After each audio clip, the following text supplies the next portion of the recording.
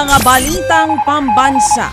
Pinaiigting ng Armed Forces of the Philippines ang paglaban sa fake news at maling impormasyon sa gitna ng tumitinding tensyon sa West Philippine Sea. Inilunsad ng AFP ang programang Communication Plan Mulat para sugpuin ang mga maling naratibo na kumakalat ngayon sa social media. Nagbabala rin sila sa publiko laban sa mga naglipa ng pro-China fake news kabilang ilang minanupulang larawan at video ng mga resupply mission. Layon din daw ng complain mulat na ipaalala sa publiko ang karapatan sa West Philippine Sea. Tiniyak naman ng AFP na patuloy na lalaban para sa soberenya ng ating bansa.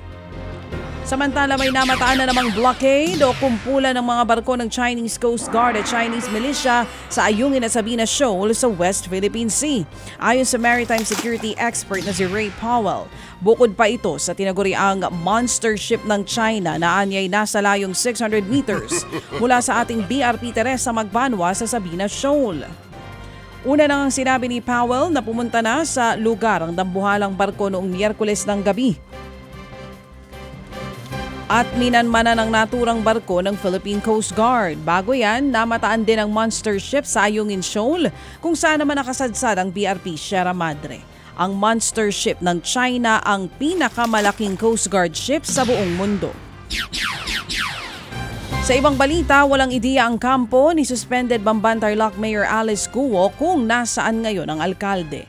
Sa July 10 na nga gagawin ang susunod na pagdinig ng Senado, kaugnay pa rin ang POGO operation sa bansa.